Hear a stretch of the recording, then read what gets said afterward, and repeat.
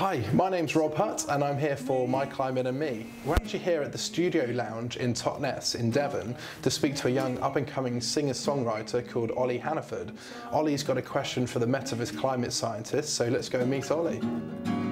To infinity and beyond, that's where you'll be if you open up your eyes. And maybe you'll find when you open up your mind You'll see like me, and you love to see like me. Oli, great to meet you. Fantastic set, really enjoyed that. Thank you. Um, I understand you've got a question for our climate scientists. I have indeed. It's about the summer actually. Um, a friend a couple of years ago, he had an awesome summer. He got study leave, and it just it was constantly in his garden, just sit in the sun, do some studying. Proper I was looking- suntan weather. Yeah, yeah, he, he tanned. I don't tan. But, um, and then I was quite looking forward to my summer, and it just it just never came. I was looking forward to my study leave, sitting in the garden. I just never could, and I just had to sit in bed really, and it was just terrible really. Yeah. So what's your question for My Climate and Me? The question is, where have our British summers gone, and is it down to climate change? It's a good question, Oli. Um, I think we better go and find out. Hey Oli, great to see you again. How you doing? Yeah, I'm good. Thanks. How are you? Excellent, very good. Right, let's take you upstairs to meet Kate. Sounds good.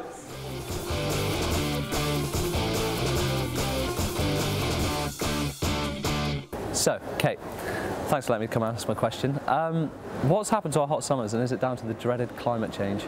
Well, believe it or not, our summers have actually been getting warmer, and we've actually had more warm days per year than we have since the 1960s.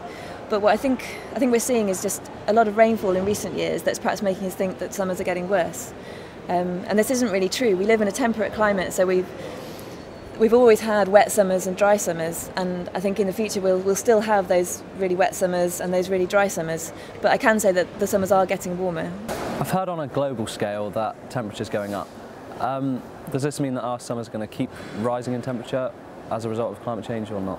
So you're right, globally temperatures are rising. Um, the figure is approximately 0.8 degrees over the last 100 years, which is quite a lot. What that means for the UK is slightly complex. Um, if we actually look at just the UK temperatures, we've actually warmed a little bit more than that.